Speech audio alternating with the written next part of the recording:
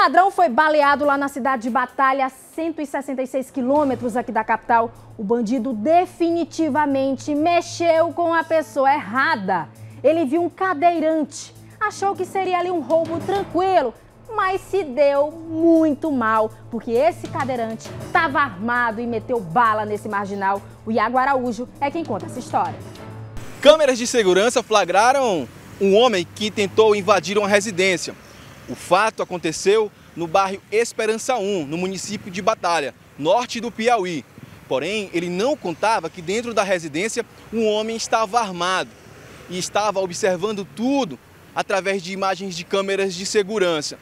No momento em que ele tentou forçar a entrada, o homem atirou contra o bandido, que saiu em disparada. Segundo as informações, este elemento foi alvejado com pelo menos um disparo de arma de fogo. O que chama a atenção em todo este caso é que o dono da residência é cadeirante. Mesmo com toda a limitação, não contou conversa e defendeu a si e a sua família. Tá aí mais uma vez o fato para você. Se o cidadão está armado e ele encontra uma oportunidade, é com certeza ele vai reagir. Não é o indicado pela polícia. Nesse caso, ele teve muita sorte, muita perícia sabia utilizar ali o armamento. E esse bandido se deu muito mal. Hoje a população reage contra o crime.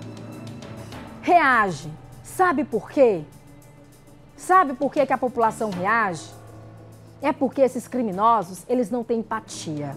Eles matam sem remorso e diante de qualquer ação ou reação da vítima. Tá aí esse registro do Iago Araújo aqui dentro do nosso Balanço Geral Manhã, cedinho para você te acordando com informação.